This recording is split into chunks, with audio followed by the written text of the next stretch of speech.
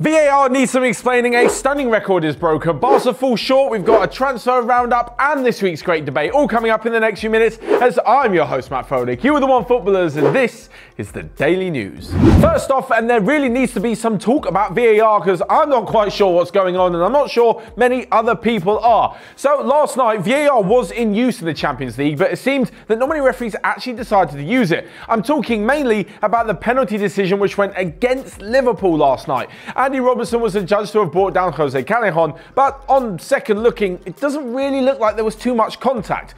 Basically, I think the rule goes that if the referee makes a call based on something like contact, then VAR can't get involved because it's his decision at the end of the day. They're only there to talk about obvious refereeing errors. But my question is, if he saw the contact and then didn't give it, would VAR then come back and say there was actually contact? Surely this can't be fair that it works one way and not the other. The same thing goes for Mason Mount's injury for Chelsea. He was absolutely nailed and there should have been a sending off for the Valencia midfielder Coquelin, but nothing actually happened. On the other side, though, it was used elsewhere. VAR was used to overrule decisions or keep decisions correctly, much like Timo Werner's second goal for RB Leipzig. I'm not so sure why there is still such a grey area. And even when managers talk about it after the game, I think they should just keep silent because they're going to look foolish. Jurgen Klopp obviously spoke about it after the match saying he wasn't too happy, but then again, it did help Liverpool in the Champions League final last season. Pep Guardiola's the same. He came out and said how bad it was at the beginning of this season, but then it helped him last season honestly, Coaches, players, everyone should just get used to the fact that sometimes it's going to go for you and sometimes it's going to go against you because you can't do anything about it now and it looks like VAR is here to stay. But what VAR can't be blamed for is the fact that Liverpool lost 2 0 against Napoli. They were much better than they were last year when they visited Naples, but things aren't so bad just yet. Yes, they did lose 2 0 in their first game and whilst trying to retain the Champions League trophy, but it's the first game of the group stage. And in all honesty, without disrespect to Genk and Salzburg, who we'll get on to in a minute, away at Napoli is the hardest game of the group for Liverpool. So the fact they've got it out the way first, and even though they've lost, I'm pretty sure that they'll definitely be favourites for the next five games in the group stage. So if they win all of those, which I'm expecting them to do, 15 points will probably get them top of the group, if not at least second. They'll definitely be through to the next round. So things could be worse. As for Virgil van Dijk's mistake, so what? He made a mistake. He's still brilliant. Everyone get over it. But moving on and to an unbelievable record. And talking of Salzburg, Erling Braut Haaland is their main striker because he managed to bag a hat trick in the Champions League last night. This means that he has 17 goals in nine games for his new club since joining from Molde. So with that goal scoring record in mind, he also became the first player to score a hat-trick on his Champions League debut in the first half, and only the third player to score a hat-trick on his debut behind the likes of Wayne Rooney and Raul. Some unbelievable scenes, and considering he scored a hat-trick at the weekend as well, he is probably Europe's most in-form striker. Now, if you didn't recognise the name, that's because a few of you may remember his father, Alf-Inge Haaland, who played in England with the likes of Leeds, Nottingham Forest and Manchester City. He was actually the player who was on the receiving end of Roy Keane's frustration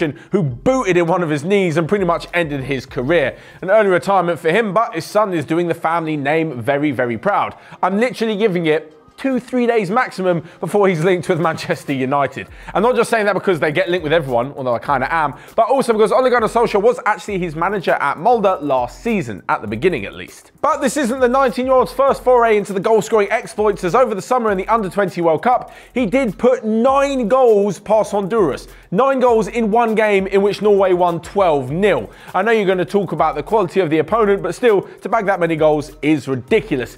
As for what it meant, well, Salzburg now top that group after a thrashing 6-2 win over Genk, and it means that Liverpool will have to be aware of him when they welcome him and the team to Anfield in a few weeks' time on match day 2.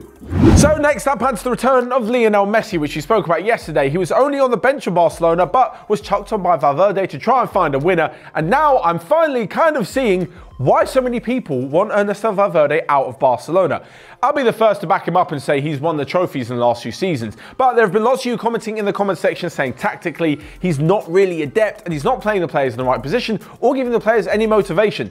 Last night, I definitely saw that. If it wasn't for the brilliance of ter Stegen in goal, saving that Reus penalty was fantastic, I honestly thought that Dortmund should have won and Barcelona were looking very, very lackluster. In fact, just throwing Messi on and hoping he'd produce something really, really sums thumbs up Valverde in recent weeks. Their start to the season in La Liga has been quite poor, and it really, really told last night that things aren't all right at Barcelona. The only reason it was a good point is because somehow Inter Milan drew with Slavia Prague, and only just by scoring in the 92nd minute. It means that every team in that group is now on one point, and well, Barcelona can thank their lucky stars that they are having to play catch up at this early stage.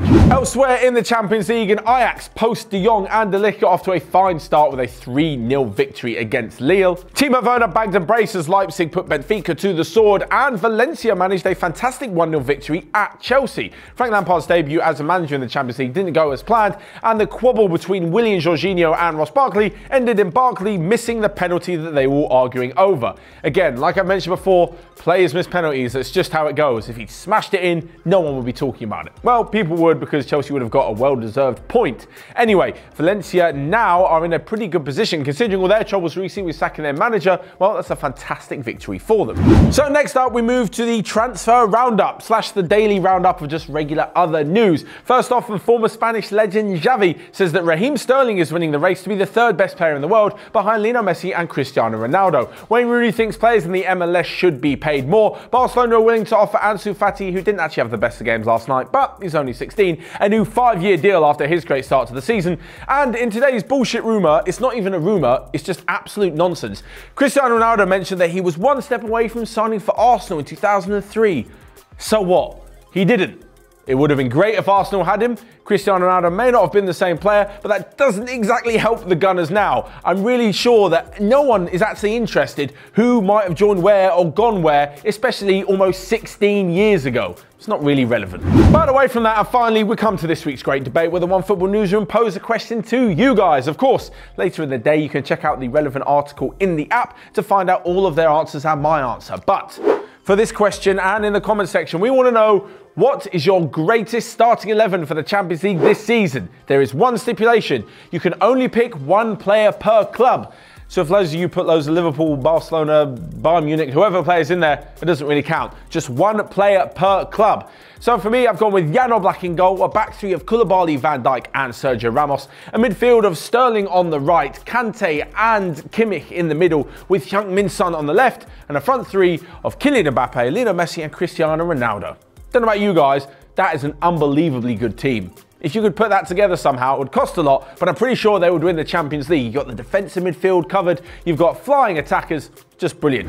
So, of course, let me know your thoughts on the great debate down below and on the rest of the day's daily news and the Champions League. Are you delighted that it is back? I definitely am. Whilst you're there, you can also smash the like button and click here or here to check out all of the other videos we've got going on on OneFootball. But until next time, I will see you guys later.